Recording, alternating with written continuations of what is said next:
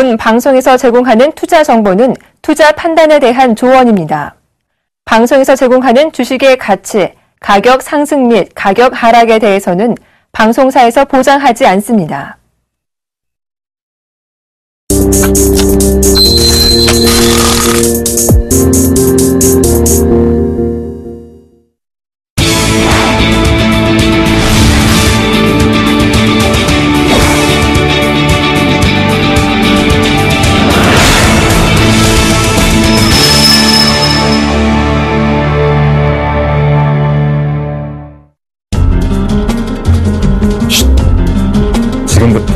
투자의 비밀을 공개합니다.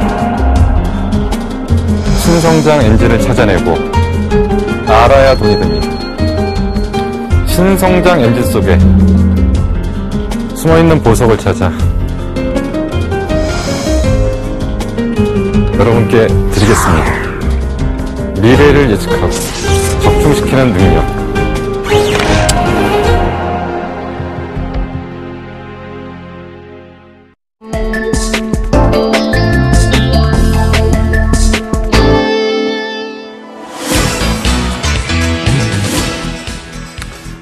안녕하세요. 수익을 말하다의 김용준입니다. 어, 일단 뭐, 지난주까지 그 저희가 이제 풍력 2주차로 좀 진행을 했고요.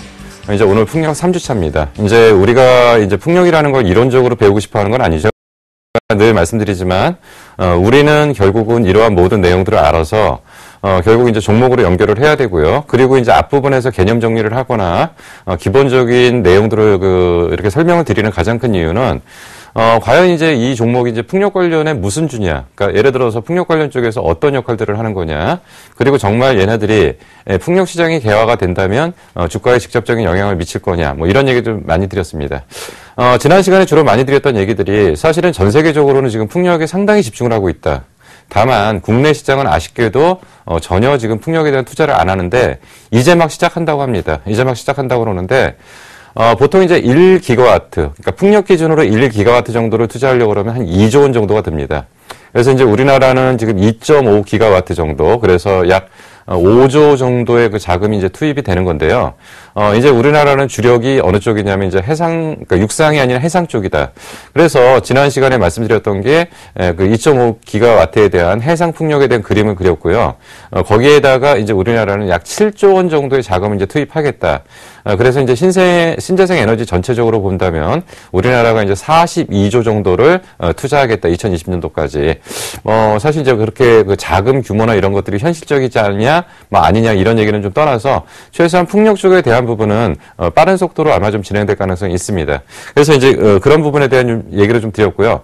오늘은 무슨 얘기를 할 거냐면 오늘은 이제 관련 구체적인 종목들을 어, 나열을 해서 하나씩 하나씩 좀 설명을 좀 드려보도록 하겠습니다.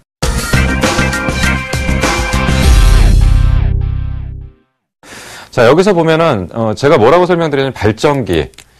예, 발전기라는 얘기를 좀 드렸고요. 어, 발전기에 관련된 종목은 이렇게 네 종목으로 지금 구분을 할 수가 있습니다. 뭐 구체적으로 안에 하나씩 하나씩 들어갈 건데요. 현대중공업 같은 경우는 사실은 얘네들이 풍력 관련주냐 아니냐라는 얘기를 할 때 풍력 관련주라고 지금은 얘기를 할 수는 없습니다. 왜냐하면 풍력 관련해서 매출이 안 나오는데요. 매출이 전혀 안 나오는데 풍력 관련주라고 얘기를 할 수는 없는 거죠. 근데 어, 얘네들이 지금 뭐를 만들었냐면 5.5 메가와트, 5.5 메가와트의 해상 풍력 발전기를 만들었습니다.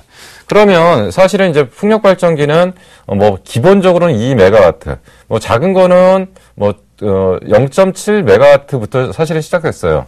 어, 유니슨이라는 회사가 가장 최초로 이제 풍력 발전기를 만들기 시작했는데 뒷부분에 설명을 드리겠지만 어, 요런 단계로 시작을 해서 이제 2메가와트, 뭐, 그러다가 이제 5.5메가와트까지 지금 만든 거죠. 5.5메가와트 까지 만들었기 때문에 사실 국내에서 만들었던 풍력 발전기 기준으로는 가장 큰 겁니다. 그래서 보통 이제 5메가와트 정도를 어, 다른 나라에서 많이 쓴다고 그랬고요. 이걸 20개 정도 붙이면 어, 100메가와트가 정도 되는 거죠. 그래서 100메가와트가 보통 붙으면은 어, 투자 규모가 어느 정도가 붙는다고 보시면 되냐면 한 2,200억 정도 붙는다고 보시면 됩니다. 그리고 이게 이제 그 100메가와트에서 이제 1000메가와트 즉 1기가와트 1기가와트가 되면은 한 2조 정도의 자금이 투입된다고 보시면 됩니다. 그래서 지금 이제 보통 가장 많이 쓰는 게 이제 5배, 5메가와트 정도를 가장 많이 쓰는데 얘네들은 해상 기준으로 5.5메가와트 해상 풍력 발전기를 만들었기 때문에 어, 사실 규모로서는 가장 큰 규모로 지금 만들어진 거라고 일단 보실 수가 있습니다. 자, 그리고 이제 두산중공업입니다. 두산중공업 같은 경우는 3메가와트. 그래서 어, WinDS. 그러니까, 어, 두산이죠. 두산 3000. 그래서 3메가와트짜리 풍력 발전기를 만들었는데, 어, 요거는 이제 실증 단계도 거쳐갖고 검증 단계까지 거쳤기 때문에, 이제 실질적으로, 어, 발전기를 만들었다. 근데 이제, 그, 효성도 뭐 2메가와트, 3메가와트, 5메가와트 풍력 발전기를 좀 만들었습니다. 그리고 유니슨 같은 경우에도 2메가와트. 사실 뭐 현대중공업이나 두산중공업이나 효성 같은 데는 좀 규모가 큰 회사들이죠. 그래서 얘네들은 지금 풍력 발전기를 만들었지만 매출에 대해 기여되는 부분은 거의 없다라고 보시면 됩니다. 어, 다만 이제 시장이 열리면서 이제 매출의 실질적인 방향들이 좀 나올 거고요. 사실은 효성 같은 데는 풍력을 향후 주력 어, 사업 모델로 가져가려고는 많이 준비를 하고 있습니다. 그런데 이제 유니슨 같은 경우에는 얘네들은 매출의 99%가 거의 풍력이기 때문에 풍력 아니고는 또 유니스는 얘기를 할 수가 없습니다. 근데 뭐 여러 가지 문제점들은 있었죠. 자, 그래서 지금 현재 우리나라에서 발전기를 만들어낼 수 있는 회사는 요 네 개 회사라고 지금 보시면 됩니다. 물론 이제 다른 나라, 다른 회사들도 필요에 의해서는 발전기를 개발을 할 수는 있겠지만 우선적으로 지금 나와 있는 업체가 어, 현대중공업, 그리고 두산중공업, 그리고 효성, 유니슨입니다. 자, 하나씩 좀 보도록 하겠습니다. 우선 이제 현대중공업이라는 회사를 좀 이해하기 위해서는 이런 부분들을 좀 보셔야 돼요. 그러니까 뭐냐면 현대중공업은 전체적인 사업 구조가 어떻게 구성되어 있냐면 정유 쪽이 정유 쪽이 지금 이제 이 부분이니까 41% 정도. 그러니까 전체 매출에서 정유가 차지하는 부분이 41%고요. 어, 이 부분이죠. 조선 부분. 조선 부분이 이제 31.4%. 그리고 이제 건설 장비 쪽이 이제 한 5% 정도. 그리고 해양 플랜트 쪽이나 이런 쪽이 이제 8.8% 정도. 자, 그러니까 지금 사실 현대중공업이라는 회사는 다른 회사 같은 경우 조선 회사들은 어, 조선의 비중이 거의 절대적이잖아요. 근데 어, 현대중공업은 지금 포트폴리오는 좀 많이 구성되어 있다고 보시면 됩니다. 사업 쪽에서. 그래서 이제 정유 쪽이 어떻게 되느냐, 뭐 조선 쪽이 어떻게 되느냐, 해양 쪽이 어떻게 되느냐 이에 따라서 이제 그 평가가 좀 달라지는데 어쨌든 간에 지금 이 안에 구성을 보니까 풍력 쪽은 없다는 거죠. 풍력 쪽은 매출 부분에 지금 아직 없는데 얘네들도 이제 나중에 이제 풍력볼 쪽이 확대되면 전체 안에 일정 부분을 차지하게 된 풍력이 어떻게 되느냐에 따라서 어, 주가의 기여도는 좀 나타날 가능성이 있는데 풍력이라는 것은 어 그 현대중공업에서는 신성장 쪽으로 어 성장 엔진으로 좀 보셔야 될 필요는 좀 있고요. 분명히 키울 수 있는 부분입니다. 그리고 이제 조선 쪽은 어느 정도 얘네들이 이제 규모를 갖고 있고요. 그리고 해양 쪽은 요번에 이제 그 해양 플랜트 쪽이나 이런 쪽에서 어 분명히 이제 문제가 좀 됐던 부분인데 앞으로는 아마 이 해양 쪽의 비중이 좀 커질 겁니다. 앞으로는 이 해양 쪽에 좀 비중이 커지니까. 그러니까 이제 현대중공업이라는 회사는 어 조선 쪽의 기본적인 어떤 사업 구조가 정상적으로 가느냐를 좀 보시면서 앞으로는 해양 쪽에 대한 부분이 얼마나 확대되느냐 그리고 풍력 쪽이 어떻게 나타나느냐가 향후 현대중공업을 결정하는 현대중공업의 주가를 결정하는 어, 변수가 될 가능성이 있다. 그래서 지금 기본적인 사업의 구성은 어, 이렇게 지금 돼 있다라는 걸 일단 이해를 하실 필요가 좀 있습니다. 그리고 나서 이제 풍력에 관련된 얘기를 좀 해야 되겠죠. 풍력 발전기에 대해서. 자, 이제 해상 풍력과 육상 풍력의 가장 큰 차이가 좀 나타납니다. 해상 풍력은 문제가 뭐냐면 이 풍력 발전기 자체가 바다로 들어가 버립니다. 바다로 들어가다 보니까 문제가 뭐냐면 바람이 기본적으로 육상에 비해서 강해요. 또 하나가 뭐냐면 바닷물에 나타나는 어, 그 소금기가 있는 거죠. 이 소금기에 따라서 이, 문, 그, 이 문제가 좀 되는 부분들을 좀 해결을 해야 되고요. 그리고 나서 이제 문제는 뭐냐면 여기서 발전을 해서 이 안에 이제 그 뭔가 에너지를 가지고 있겠죠. 이걸 갖고 뭔가 연결을 해서 육상 변전소까지 이동을 시켜야 돼요. 자, 우리가 보통 이제 그 심해 유전이나 아니면 심해 가스전 이런 것들을 볼 때 항상 보면은 뭐냐면 기본적으로 어, 바다에서 끌어올리는 거, 바다에서 이제 끌어올리는 장치가 있을 거고요. 바다에서 이제 그 어, 석유라든가 가스를 끌어올리는 어, 장치가 있고 이걸 저장하는 게 있고요. 이 저장된 걸 갖고 수송을 시키는 게 있고요. 수송시켜서 결국은 변전소까지 전달해 주는 과정들이 있는 거죠. 그래서 이러한 각각 그러니까 뭐 이걸 갖다가 뭐 이제 이거는 뭐고 이거는 FPSO고 뭐 이런 식으로 가는 거죠. 근데 지금 자 그러니까 풍력 발전 역시도 어, 해상에서 이루어지게 되면 발전을 한 상태에서 어떤 형태로든지 이걸 육상으로 옮겨와야 되거든요. 그래서 결국은 이게 어, 육상과 해상의 거리가 멀면 멀수록 비용이 드는 거고요. 그리고 해상에 있을 때 이런 부분들. 그래서 이런 부분들을 해결할 수 있는 게 어, 약간 어, 그 기술을 좀 요구하고 있다라고 좀 볼 수가 있습니다. 근데 지금 현대 에, 중공업에서 지금 개발한 게 뭐냐면 자 내용을 보시자고요. 5.5 메가와트급이고요. 규모는 가장 크다고 했고요. 어, 풍력 발전기를 14년도 2월 18일 날 완전히 시험 가동을 했습니다. 이제 개발이 끝나갔고 개발이 끝나서 했는데 일단 높이는 100m 정도, 높이는 100m 정도 올라가고요. 그리고 날개 길이는 70m. 그러니까 이 길이가 이제 70m 정도 되니까 상당히 큰 거죠. 이게. 그리고 여기서 이제 또 하나 특징이 초속 62.5m다. 자, 이게 무슨 얘기냐면 제가 저번에 뭐라고 말씀드렸냐면 풍력은 기본적으로 초당 초당 4m 정도의 기본적인 바람이 불어야 된다고 말씀드렸고요. 또 초당 40m 이상의 바람이 불면 이 안에 발전기가 타버린다고 그랬습니다. 그래서 이게 넘어가면은 어, 그 풍력 발전기가 자동으로 멈춰버리는 거예요. 근데 사실은 바람량이 조, 많은 게 발전은 많이 할 수 있겠죠. 근데 얘네들이 초속 62.5m까지 감당할 수 있는 정도까지의 기계가 됐기 때문에 얘네들의 바람량이 아주 많아도 웬만큼 견딜 수가 있는 거죠. 어, 초당 40m 정도면 거의 태풍 수준입니다. 그, 근데 그 태풍 수준을 커버하고도 그거보다 훨씬 빠른 62.5m까지 커버할 수 있는 거기 때문에 어, 기계의 성능은 많이 좋아졌다라고 일단 볼 수가 있습니다. 사실 우리나라가 지금 그 어, 풍력 발전 쪽에서 전체 어, 세계 10위 안에 있는 기업에 전혀 지금 들어가지 못하고 거의 매출 비중이 없는 게 사실은 우리나라 내부에 기술이 없어서가 아니고 우리나라 자체가 이런 풍력 발전에 대한 선투자 보통 이제 유럽 쪽은 어떻게 했냐면 정부에서 지원금을 주고서 개발해서 돌려라는 거죠. 그래서 손실이 나도 정부에서 카바를 해주면서 기술 축적을 해가지고 결국은 지금 발전, 그러니까 이쪽에다 납품을 하면서 돈을 버는 구조가 되는 거죠. 근데 우리나라는 사전에 이런 작업들이 지금 전혀 없었기 때문에 사실은 기술을 못 따라가는 게 아니고 이런 부분들의 문제가 있었다는 거죠. 자, 근데 어쨌든 얘네들은 62.5m, 70m, 그리고 100m짜리로 만들어서 서, 서남해 해상 풍력 실증 단지에다가 3기 정도로 지금 공급을 어, 할 예정입니다.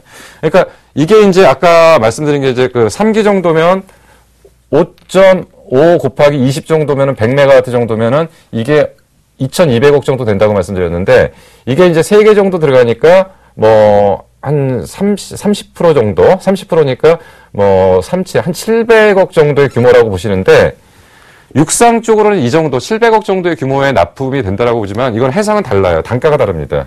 그래서 단가가 굉장히 많이 올라가요. 그래서 이 정도면 아마 천억 이상의 발주 규모가 나올 겁니다. 이 정도면. 그러면 어 그 사실은 뭐 천억이라고 해봐야 현대중공업의 매출에는 아무 도움을 안 돼요. 그렇지만 이런 것들이 이제 쌓이게 되면은 어 얘네들의 이제 그 축적되는 것들이 있는 거죠. 그래서 어 요번에 3기 정도 공급을 하는 것은 그래도 어, 의미가 있는 매출이 될 가능성이 있다는 거고요. 그리고 이게 시험 인증을 통해서 이제 국가 항상 우리나라에서 먼저 시험 인증을 하고 여길 통과를 해야 돼요. 국제 형식 인증을 통해야지 그 전체 시장에다 판매를 할 수 있어요. 그래서 이게 먼저 여기를 통해서 납품을 해서 결론을 내고 그리고 이걸 인증을 받아서 결국 세계 시장에다 갖다 파는 거죠. 그래서 지금 이러한 준비들은 지금 어느 정도 됐다고 지금 보는 거고 이런 것들이 시작되면은 어, 풍력 쪽에 어떤 가속도를 좀 붙일 수 있는 방법들은 됩니다. 자, 그래서 특징은 아까 말씀드린 것처럼 62.5 그리고 염분에 부식되지 않도록 제작돼 있다. 근데 좀 안타깝게도 문제는 뭐냐면 이게 풍력 쪽의 얘기가 바로 주가에 반영되기는 좀 어려워요.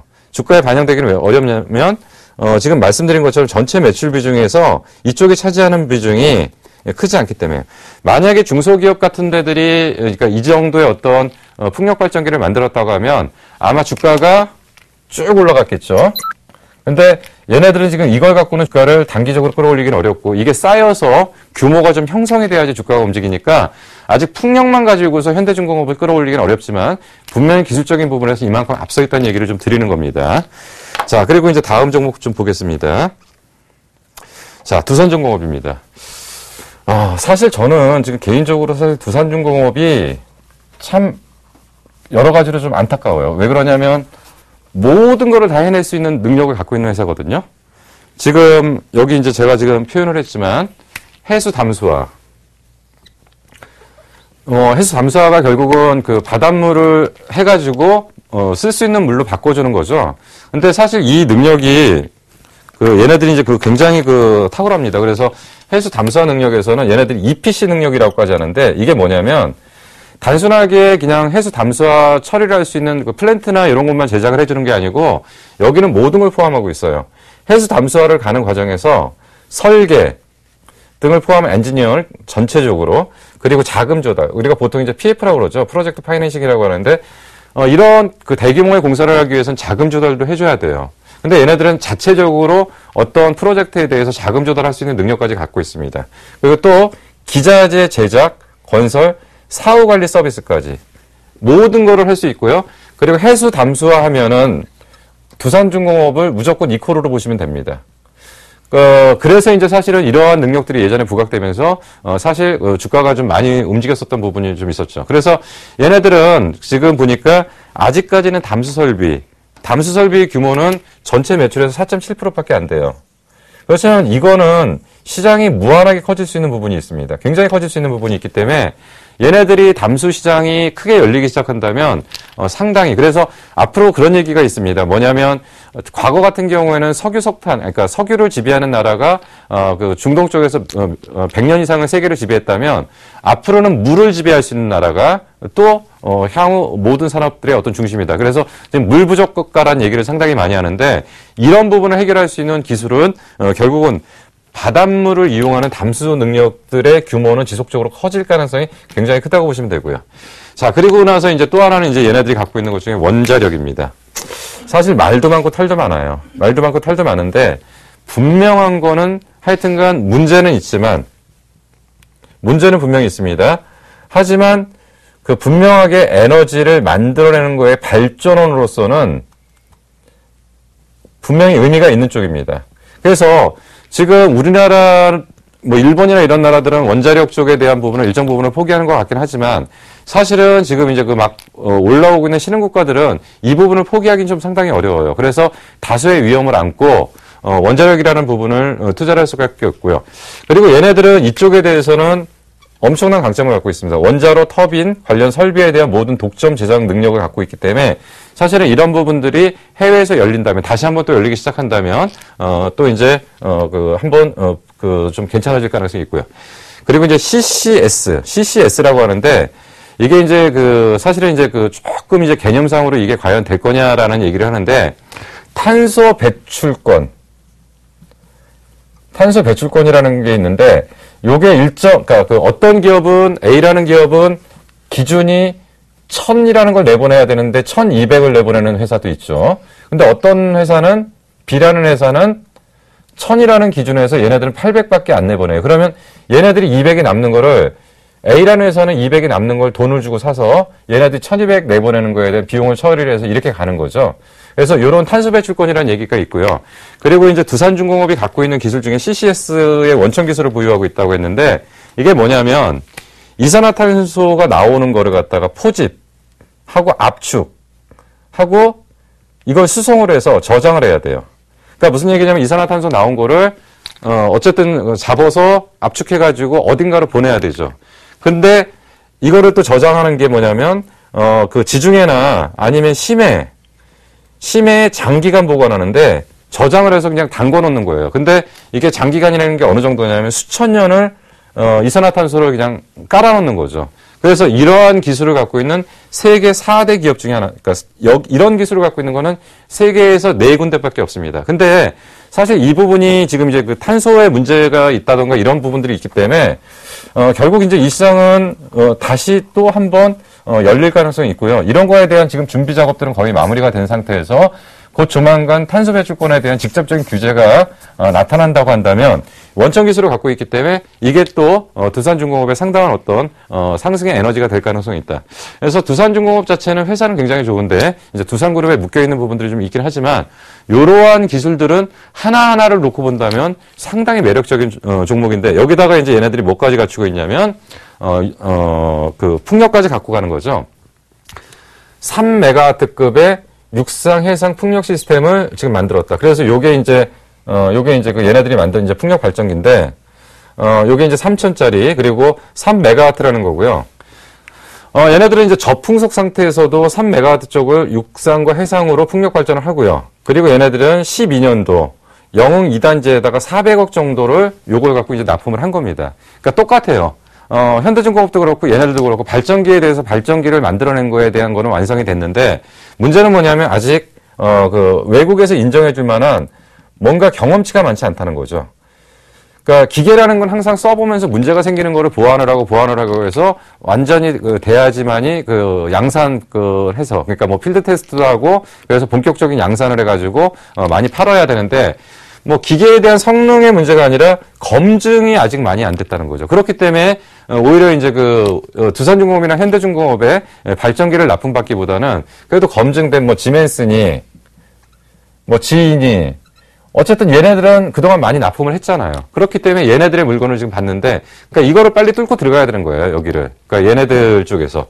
그래서, 어, 이 실증 검증을 했는데, 3메가와트급 이상에 대한 부분은 해상풍력 운전 실적을 마쳤어요. 근데, 제가 말씀드렸을 때 저번에 뭐라고 그랬냐면, 육상 쪽은 이제 어느 정도 시장이 형성이 됐기 때문에 큰 문제가 안 되는데, 지금 유럽 쪽 애들은 어디에 지금 관심을 갖냐면, 여기에 관심 갖는다고 그랬잖아요.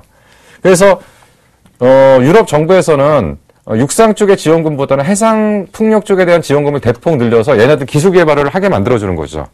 그러다 보니까 해상 풍력 운전 실적을 갖고 있는 나라들은 그렇게 많지 않아요.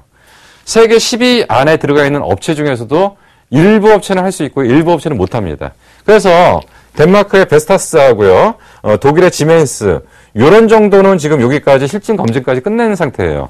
근데 두산이 요걸 갖고 3메가와트급, 메가와트급을 갖고 해상 풍력에서 운전 실적을 쌓아서 요거에 대한 부분을 합격점을 받은 거죠. 그렇기 때문에 사실은 기술력 면에서는 많이 나갈 수는 있다는 얘기죠. 어, 그리고 이제 얘네들이 또 장점이 뭐냐면 유지보수용 크레인을 지금, 어, 해상 자체에 보유를 하고 있어서 문제가 생기면 바로 신속하게 해상 정비가 가능하다는 어, 또 하나의 장점을 갖고 있습니다. 어, 그리고 얘네들 이제 어, 뒷부분에서 얘기하겠지만 블레이드하고 종속기, 어, 종속기에 대한 국산화가 지금 어느 정도 어, 성공을 하고 있다. 뭐 이렇게 해서 지금 두산중공업은 아까 말씀드렸던 그런 장점 여러 가지를 갖고 있는데 사실은 그런 부분에서 지금 앞으로 성장성을 좀 상당히 많이 갖고 있는 종목 중에 하나인데 문제는 뭐냐면 두산그룹이라는 것 때문에 주가가 못 간다고 보시면 됩니다. 얘만 아니었으면 얘만 아니었으면 참 많이 갔을 거예요. 그걸 한번 좀 보시자고요. 잠깐 내용들을. 제가 참 그 두산중공업은 좀 어, 여러 가지로 좀 보면서 좀 많이 이제 그 안타깝게 생각하는 종목 중에 하나인데 어 그 실적 면에서는 어느 정도 나와요. 실적 면에서 어느 정도 나오는데 어, 문제는 뭐냐 금융 비용이 너무 많이 든다는 얘기죠. 자, 보시자고요. 이 부분은 이제 그 뭐 그냥 두산중공업을 추천하기 위해서가 아니고 이제 참고적으로 보세요. 자, 어, 2010년, 13년도 6월 달, 그러니까 2분기죠. 매출은 5조 1000억, 그리고 영업이익이 3천억이 발표가 됐어요. 3천억이 발표됐는데, 문제는 뭐냐면 순이익으로 가니까 122억이 나와요.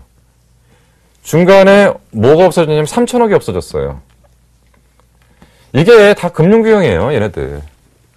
그러니까 두산그룹 때문에 금융비용을 지나치게 많이 부담하니까. 그래서 이제 문제가 되는 거고, 전체적인 실적은 작년 실적을 집계를 해보니까 거의 영업이익은 1조 정도가 나왔는데, 단기 순이익이 나올까 말까 하는 정도밖에 안 되는 거죠. 자, 그러니까 얘네들이 만약에 금융 비용을 좀 걷어내고요.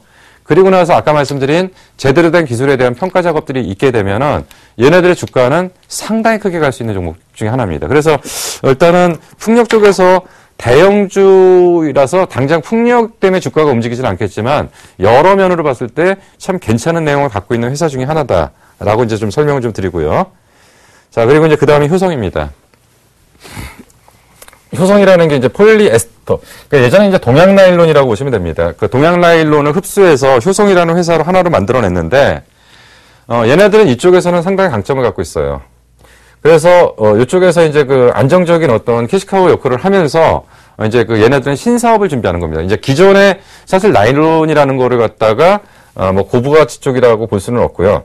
어, 결국은 어, 얘네들이 이거보다는 이제 스판, 스판 쪽에 대한 부분 그리고 산업 플랜트 쪽 이쪽에 대한 부분을 좀 부각을 시켜야 되는데 지금 섬유 쪽에서는 강점을 갖고 있는 게 아라미드 섬유 쪽입니다.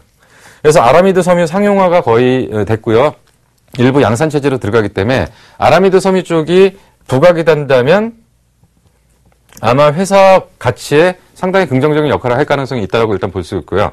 얘네들이 2010년도에 어, 충전 시스템을 완료를 했습니다. 그래서 제주도 실증 스마트 그리드 단지에 120개 120곳 정도를 어, 충전 시스템을 공급을 하면서 얘네들은 이런 부분과 이런 부분을 어, 성장 엔진으로. 그래서 이제 기존에 하는 섬유 사업 쪽에 대한 부분은 아까 말씀드린 아라미드 섬유 쪽이 어떻게 되느냐. 그러니까 기존에 하던 거는 이제 그 상태 정도로 보시고 이제 어, 아라미드 섬유 쪽이나 전기 충전 쪽이나 아니면 풍력 쪽이 어떻게 되느냐. 근데 얘네들은 좀 풍력 쪽에 좀 비중을 좀 키우려고 하는 쪽에서 풍력에 대한 기술 개발이나 연구 개발은 상당히 많이 됐어요.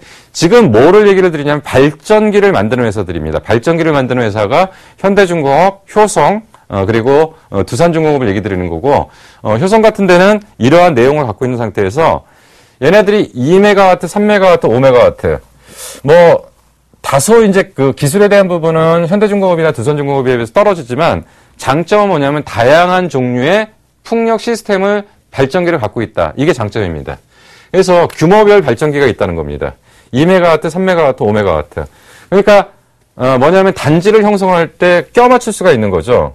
예를 들어서 100메가와트면 어 5메가와트짜리 20개 들어가면 되는데 요게 뭐 45메가와트 요런 식으로 딸 때는 요거를 갖다가 어, 맞춰 놓아야 되는 거니까요. 그래서 이렇게 해서 어, 규모 단지 규모를 결정을 할 수 있기 때문에 이런 것들이 이제 장점이라고 일단 볼 수가 있고요.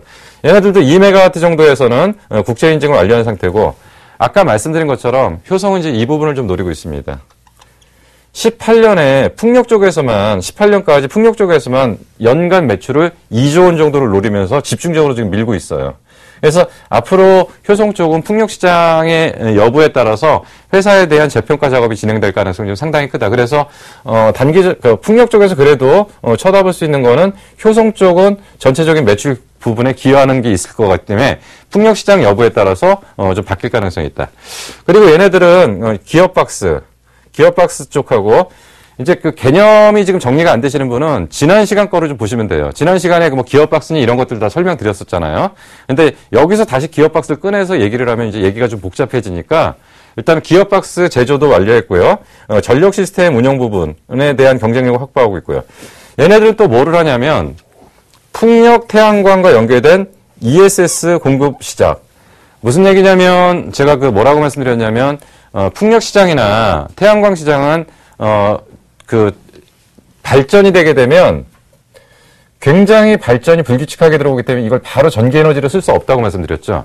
그래서 이걸 평평하게 만들어주는 작업이 필요하다고 그랬고 그런 쪽에서 ESS가 많이 깔리면 어, 결국은 신재생 에너지 쪽에 그 인프 그 확대되는 어, 그런 시점이라고 일단 어, 말씀드렸는데 얘네들은 지금 이 준비까지도 지금 어느 정도 지금 하고 있다라고 어, 지금 보실 수가 있습니다. 그래서 효성 같은 경우에는 지금 말씀드린 것처럼 어, 풍력 쪽과 어, 나머지 뭐 아라비드 섬유 뭐 이런 것들이 향후 이제 이 회사의 성장 에너지가 좀 될 가능성이 있습니다. 어, 차트 한번 보실게요. 풍, 어, 효성을요. 자, 효성 같은 게 뭐 이제 뭐 말도 많고 좀 탈도 많았어요. 최근에 최근에 말도, 많고 탈도 많았는데 전체적인 큰 맥락에서는 크게 상승을 하고 굉장히 크게 상승을 하고 그리고 나서 기간 조정, 가격 조정을 거의 다 받았다고 일단 볼 수가 있고요. 조금 더 장기적으로 진행될 가능성은 있지만 어, 주가는 거의 바닥권에 근접해 있다라고 일단 볼 수가 있고요. 그러면 이 회사가 언제 주가가 올라갈 거냐 라고 한다면 아까 말씀드린 제가 그런 부분이 전면으로 부각돼서 그러니까 풍력 쪽의 시장이 개화되고 이런 부분이 확대됐을 때 얘네들은 좀 어, 주가가 움직이기 때문에 뭐 기간 조정은 조금 더 진행될 가능성이 있습니다. 근데 그런 부분들이 매출과 직접적으로 연결되는 구조가 나온다라고 한다면 어, 그때 주가는 좀 다시 형성될 가능성이 상당히 크다라고 보시면 될 것 같습니다. 자 그리고 이제 발전기 쪽에서 어, 발전기 쪽에서 이제 마지막에 이제 사실은 이제 유니슨인데 유니슨은 지금 뭐 깊이 있게 설명을 못 드리는 이유가 왜 그런지를 아실 겁니다. 자, 유니스는 사실 지금 현재 관리 종목으로 지정돼 있어요. 관리 종목으로 지정돼 있고 얘네들이 사실 그 좀 문제가 많았던 부분이 뭐 한 640억 정도 어 채권단의 물량을 출자 전환을 시켰어요. 그리고 한 400억 정도의 CB를 발행을 해서 이걸 갖다가 일본 업체가 인수를 해서 지금 이제 일대 주주가 일본 업체가 되는 상태고요. 근데 아직까지 매출과 영업이익이 정상적으로 안 나오고 있기 때문에 단지 단지 이걸 갖다가 어떤 그 지금 현재 어떤 풍력이라는 시장만 놓고 투자를 하기에는 얘네들이 재무 리스크가 좀 있다는 얘기죠. 그래서 재무 리스크가 있기 때문에 이런 부분에 대한 부분들 때문에 어, 그 유니슨에 대한 얘기는 좀 깊이 해드리기가 좀 어렵습니다. 왜냐하면 어, 주가가 좀 어, 요번에도 그 일본 부분이 부각되면서 어, 상당히 한번 올라간 적이 있었어요.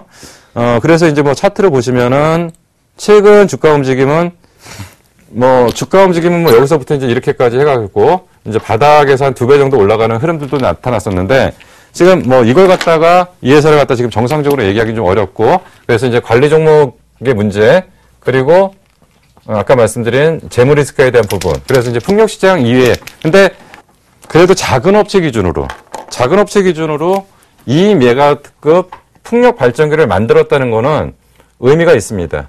그래서 이 정도만 지금 부각을 시켜줄 필요가 있고요. 그럼 얘네들이 좀 만약에 정상화가 되는 시점까지 보고 나서 그 다음에 이제 좀 얘기를 하기 때문에 일단 발전기 업체는 이런 네 개의 업체가 있다는 걸 말씀드렸습니다. 그리고 이제 main shaft. 자, 그 main shaft가 뭐냐면 아, 그걸 다시 이제 그림을 좀 보여야 되는데, 그러니까 아까 rotor blade라는 얘기를 좀 말씀드렸고요. 이제 그 날개가 있고 어, 날개를 묶어주는 이런 게 있고요. 그리고 이제 뒤에 요게 있고, 그리고 여기에 타워가 있다라고 말씀드렸죠. 그럼 요거가, 요 날개가 잘 돌아갈 수 있도록, 어, 연결해주는, 뭐, 이제 어떤 그런 그, 그, 원통형 쇠라고 보시면 되고요. 얘가 중심을 잡고, 얘가 이제 돌아가는 걸 갖다가 강하게 지지해주는. 그래서 이게 이제 어, 이게 main shaft라고 하는데, 어, 요게 어, 사실은 이제 그 당, 그 좀, 어, 이쪽에서 차지하는 원가 구조에서 어, 그 구조가, 그러니까 원가의 비중을 좀 차지하고 있기 때문에 어, 요 main shaft만 납품해서 먹고 사는 회사들도 좀 있습니다. 그래서 이제 대표적으로 어, main shaft라는 것은 회전자, 아까 이제 그 말씀드렸던 요게 에, 회전자의 운동 에너지를, 이 돌아가는 에너지를 발전기로 전달을 해서 발전기로 전달을 해가지고 이거를 어, 에너지를 전달해주는 역할을 하는 거다라고 보시면 될 것 같고요. 태웅이라는 회사하고 현진소재, 용현 BM이라는 회사가 이쪽에서 일을 하고 있다고 보시면 됩니다.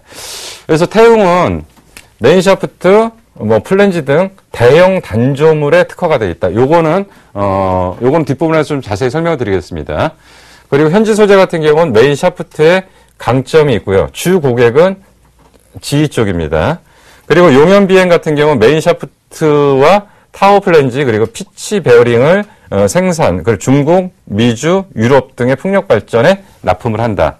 그래서 main shaft 업체는 지금 태웅, 현진소재, 용현 BM.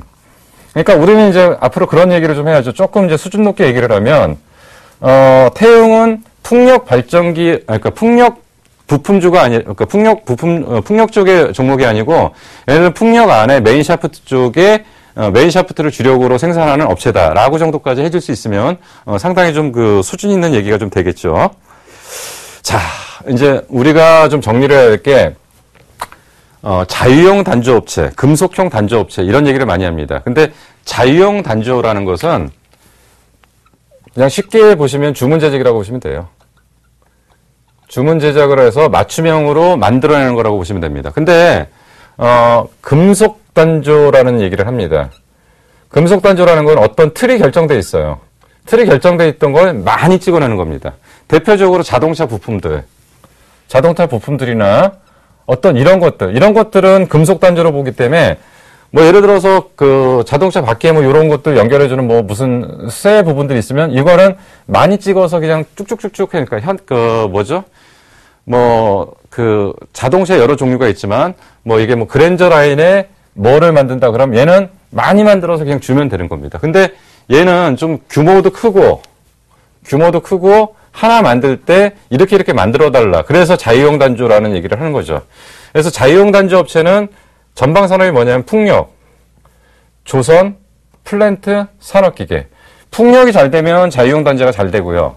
조선이 잘 돼도 자유형 단지 업체가 잘 되는 거고, 그리고 플랜트가 잘 되거나 산업기계가 잘 되거나 이런 거죠. 근데 얘네들 지금 전체적인 매출 비중을 보십니까? 전방산업 매출에서 풍력 쪽이 42%, 산업기계 쪽이 25%, 석유화학 쪽에 납품하는 게 22%, 조선 쪽이 8.3%, 원자력 쪽이 1.3, 1.8%. 그러니까 얘네들은 지금 주력이 풍력하고 산업기계, 석유화학 쪽이고 사실은 조선의 비중은 그렇게 크진 않아요. 근데 얘네들이 태웅이라는 회사가 주가가 많이 갈 때는 굉장히 높았습니다. 그때가 언제냐면 풍력 시장이 개화를 시작한다고 하다 할 때였고요. 그래서 이제 차트를 잠깐 한번 보시겠습니다.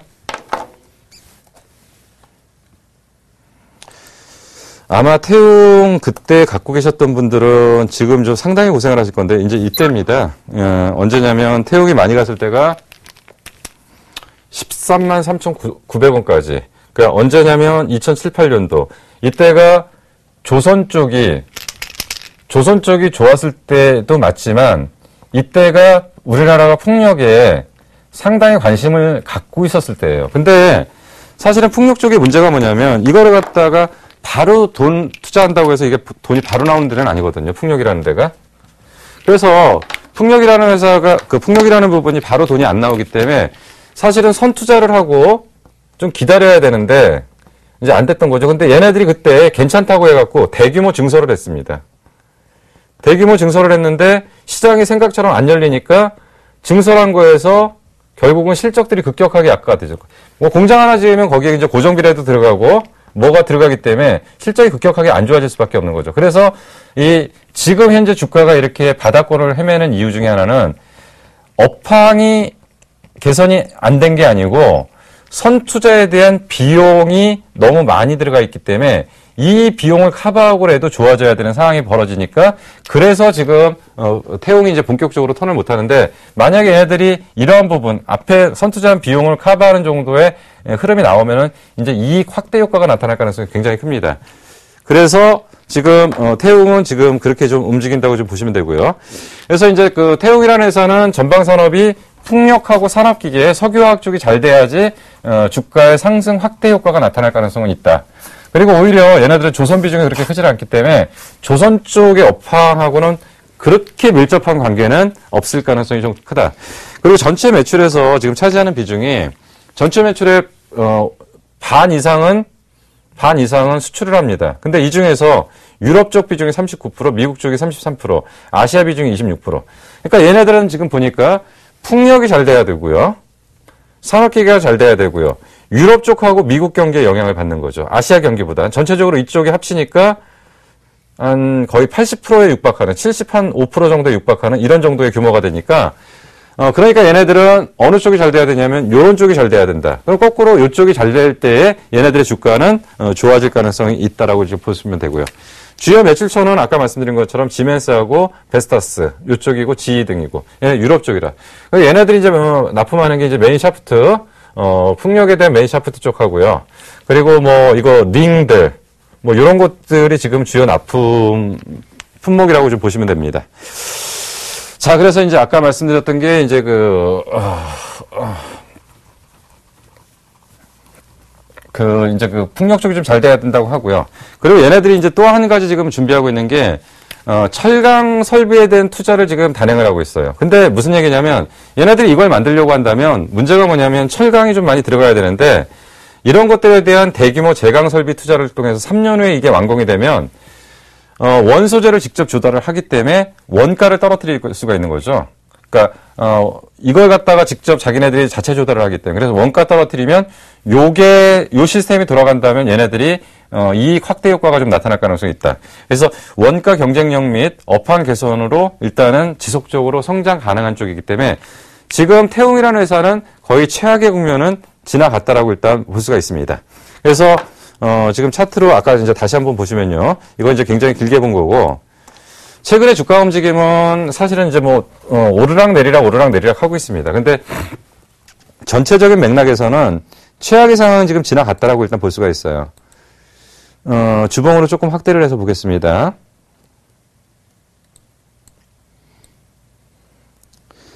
사실 어, 여기까지 앞부분까지는 이제 그 월봉으로 보시면 그 지금 이제 2012년도에 저점을 찍은 거죠. 예. 그래서 주가는 지금 어떻게 형성이 됐었냐면 여기 13만 3,900원을 어, 이때 찍고서 아까 보시면 10, 2022년도 중반 정도가 최저점을 지금 기록한 거죠. 그래서 어, 이때까지 최악의 국면은 지금 다 지나갔다고 일단 보시고요. 그럼 주가라는 거는 빠지고 횡보하는 자리까지 나타나요. 그러면 여기까지가 끝나는 거고 이제는 어떤 사이클을 갖고 이제 점진적으로 이제 우상향하는 패턴을 어, 준비를 하는 중이고요. 자, 그래서 기간 조정을 충분히 받았고 뭐 단기적으로 보면 오르락 내리락 오르락 내리락 했고요. 지금 현재 차트상으로 보면 일봉상으로 볼 때는 상당히 올랐다가 상당히 빠진 걸로 돼 있지만 큰 맥락에서는 최악의 상황을 지나간 상태에서 한 번 올렸다가 다시 왔는데 이게 여기서 이제 다시 어떤 방향을 잡게 되면 새로운 변화가 생길 거고 이쪽 업황이 이제는 좀 나아지고 얘네들이 최악의 국면을 벗어나서 어 2007년도에 대규모 설비 투자인 거에 대한 비용 부담을 어느 정도 완화시키기 때문에 이제는 재평가를 받아야 될 시점이 좀 거의 다가오고 있다라고 어, 보시면 될 것 같습니다. 그래서 태웅형 움직임은 이 정도라고 일단 보시면 될 것 같습니다. 자, 오늘도 종목을 바로 들어가기 시작했는데 사실은 지금 많이 진행을 못하네요. 자, 그래서 그 아까 말씀드린 것처럼 어, 그 우리가 main shaft 쪽에서는 태웅, 현진소재, 용현 BM 여기까지가 있고요. 그리고 얘네들은 주요 납품처가 어딘지 좀 보셔야 돼요. 그러니까 아시아 쪽의 비중이 높은지, 유럽 쪽의 비중이 높은지 이런 것들을 좀 보셔야 될 필요는 좀 있고요. 자, 그리고 이제 그 피치 시스템, yaw 시스템이라는 게 있는데 이 피치 시스템은 아까 말씀드린 이제 블레이드, 그러니까 그 날개에 대한 방향이 날개에 대한 방향을 조절하는 어, 시스템이라고 보시면 되고요. yaw 시스템이라는 것은 바람에 부는 방향으로 어, nacelle을 회전시키는 쪽이다. 그래서 아까 말씀드린 게 이제 그 어, 태웅 같은 경우는 main shaft도 하지만 어, 그, 이제 그, 요런 부분들도 좀 같이 하고 있다는 거고, 용현 BM, 어, main shaft하고 타워 플랜지, 요런 것들을 같이 하고 있다라고 보시면 되고요. 그래서 피치 시스템, yaw 시스템까지도 어, 부품 납입 하는 데가 있다라고 일단 볼 수가 있고요. 그리고 이제 그, 어, 국도화학은 사실은, 어, 풍력 관련주로 분류하기는 조금 어려운데요. 어, 얘네들이 하는 일들 중에서 이제 요런 게 있습니다. 이제, 어, 얘네들이 어, 에폭시 수지를 집중적으로 연구하는 애들인데 이쪽에서 전체적인 시장 점유율은 어, 전체에서 한 60%좀 차지한다고 보시면 됩니다. 근데 풍력 발전기의 에, 블레이드 쪽에서는 에폭시 시스템을 지금 개발을 해가지고 2009년도에 제품 인증을 하였고 이게 결국은 우주항공하고 정보통신 어, 분야의 어, 매출이 기대되는 성장 분야다. 그래서 이제 국도화학은 이런 면에서 좀 보셔야 되고요. 그래서 rotor blade 쪽의 유리 및 에폭시를 섬유 등으로 고안된 몰드에서 제조 최근 길이는 60m 정도 된다.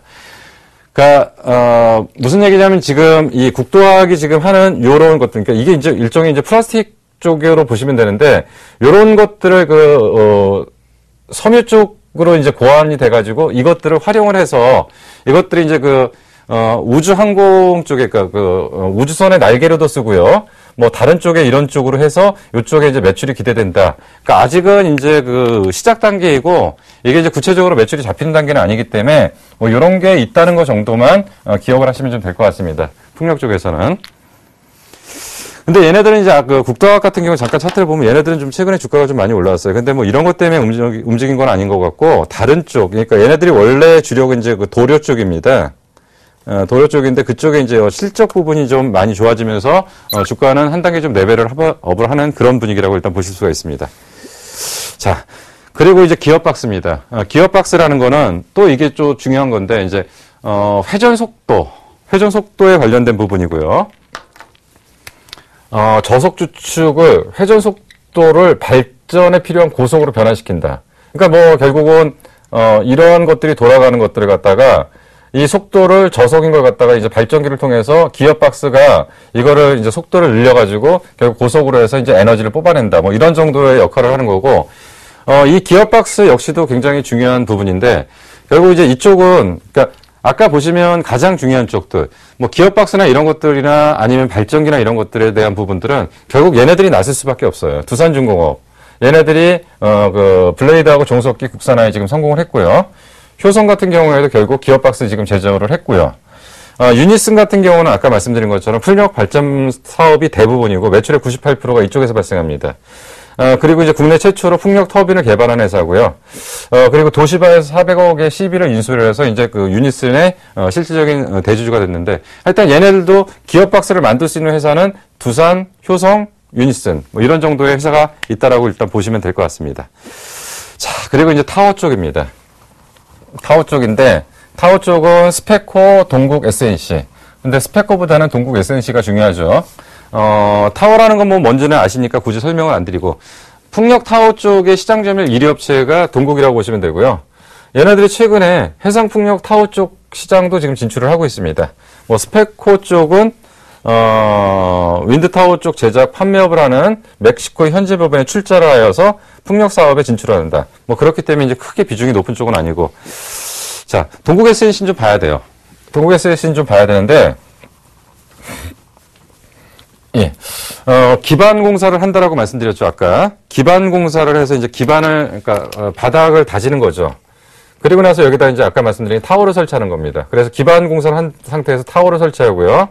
어, 타워를 생, 생산한 것에서 낫셀을 조립을 합니다. 그러니까 아까 여기 이제 그 전체적으로 여기에 뭐 종속기니 발전기니 이런 것들이 다 들어가는 겁니다. 이 안에. 그래서 요거를 하고 그리고 나서 위에 올라가서 날개로 구성된 블레이드를 허브로 조립해서 낫셀하고 연결해 줘서 이게 모양이 나오는 겁니다. 그래서 이것까지 하는 게 얘네들의 사업 영역이라고 보시면 되고요. 어, 주거래처는 GE, 아, 주력 시장은 미국입니다. 미국이고 70%고요. 어, 뭐 이런 데가 있고 지멘스에 납품을 하고 타워 수주 잔고는 어, 전년도 대비 2.5배 증가하고 있기 때문에 시간이 지나면 지날수록 실적은 계속 좋아진다고 보시면 됩니다. 자, 그리고 기타 업체가 있습니다. 어, 기타 업체가 있는데, 아, 여기서 이제 한 가지 중요한 포인트 하나만 좀 정리를 해드릴게요. 제가 뭐라고 말씀드렸냐면, 풍력 시장은 북미 시장이 2013년도에 쉬어가는 시장이라고 그랬죠. 전년도에 한 10, 어, 10기가와트 정도의 발주가 나왔다가 2013년도에는 얼마가 나왔냐면 2.8기가와트가 나왔다고 그랬고 14년도에는 8기가와트, 8.5기가와트의 발주가 나온다고 했습니다. 그러면 미국 풍력 시장의 그 다시 정상으로 가는데 가장 큰 수혜를 입는 쪽은 어디라고 보시면 되냐면 얘라고 보시면 됩니다. 왜냐하면 얘는 전체 매출에서 미국 쪽에서 차지하는 비중이 몇 프로라고 말씀드렸냐면 70%라고 말씀드렸습니다. 그렇기 때문에 미국 시장이 올라가면 얘네들의 매출은 급속도로 늘어나게 된다고 보시면 될 거고요. 자, 그래서 북미 시장 풍력의 북미 시장 확대의 최대 수혜주는 어, 동국 SNC라고 보시면 되고요. 어, 14년도에 실적 회복이 지금 확대되기 때문에 이런 부분에 대한 부분 예상. 그리고 해상풍력은 얘네들의 또 다른 기회 시장이라고 보시면 될 것 같습니다. 자, 그리고 이제 기타 업체들이 좀 있습니다. 뭐, 한일단조. 한일단조는 일본 업, 그러니까 얘네들은 딴데 납품 안 해요. 일본 업체에만 납품을 합니다. 어, 왜 그러는지 모르는데 얘네들은 풍력 발전기는 무조건 일본 쪽으로만 납품을 합니다. 어, 일본 업체에만. 그리고 포메탈. 뭐 종합 단조 정밀 기계 부품을 생산하는 업체로 아까 말씀드린 yaw 피치 기어 박스, 샤프트 등의 베어링 케이스 뭐 이런 링을 만든다. 어, 조금 주목해 볼 거는 우림 기계입니다. 우림 기계가 얘네들이 사실은 어, 풍력 발전기 3메가와트 기어 박스를 개발 완료를 했고요. 어, 기어 박스 정도로 개발했으면 기술력은 어느 정도 있다고 보시면 됩니다. 그리고 대형 감속기 및 어, 기어 박스 전문 업체로 얘네들이 이쪽을 주력으로 가려고 그러는 거고요. 얘네들이 원래 이제 공작기계 쪽이고요. 그리고 이쪽에 대한 부분을 풍력 어, 기어박스 쪽을 어, 그 전문 분야로 좀 가려고 하는 거고요. 뭐 삼강 M&T 얘네들 후육강관 업체입니다. 후육강관 업체는 국내에 두 개 정도가 있는데 얘네들이 후육강관 쪽인데 어, 얘네들이 이제 그 어, 해양 플랜트 부품인 jacket 예, 요거 그래서 요거를 고정시키는 수중 구조물 jacket이라는 건 해상 풍력 발전기를 고정시키는 수중 구조물이라고 보면 되고요. KPF 풍력 발전기 볼트 너트 생산하는 거고 서암 기계 뭐 기어를 일본에 판매한다. 풍력 발전기에. 자, 뭐 이런 정도가 지금 됐습니다. 그래서 지금 오늘까지 이제 그 풍력 발전기 발, 그 풍력에 대한 모든 어, 업체까지 지금 정리를 끝냈습니다. 자, 1단계에서 기초 개념을 잡았고요. 2단계에서 지금 어, 그 구체적인 어떤 기술적인 부분들을 약간 검증을 했고요. 3단계에서는 풍력의 중요한 업체들을 좀 점검을 했습니다. 시간 관계상 압축하고 요약하지 못했어요. 그렇지만 중요한 기업들에 대해서는 중간중간에 체크를 해드렸습니다. 그리고 풍력 발전은 제가 말씀드렸을 때 저, 지난 시간에도 뭐라고 말씀드렸냐면 전 세계는 이미 풍력 시장이 상당히 개화돼 있는데 우리나라만큼은 아직 상당히 지금 어, 발, 그, 못 따라갔다. 근데 이제부터 본격적으로 속도를 낼 것 같으니까 아마도 관련 기업들의 어, 혜택, 관련 기업들이 예, 본격적으로 성장할 수 있는 계기를 만들었다고 일단 볼 수가 있습니다. 그래서 이제는 분명히 풍력 발전주에 대한 재평가 작업이 시작될 가능성이 상당히 크고요. 그런 쪽에서 지금 바닥권에서 서서히 돌아 나올 가능성이 상당히 크다. 뭐 그런 쪽에서는 향후 풍력 관련주에 대한 관심은 다시금 좀 집중을 할 시기가 아니냐 아, 판단이 됩니다. 저는 다음 시간에 다른 주제를 갖고 다시 찾아뵙도록 하겠습니다. 예, 끝까지 시청해 주시면 감사하고요. 저는 오- 이것으로 오늘 강의를 마감을 하도록 하겠습니다. 감사합니다. 서울경제TV 홈페이지 센TV.co.kr에 접속하시면 수익을 말하다 VOD 다시 보기 서비스를 이용하실 수 있습니다.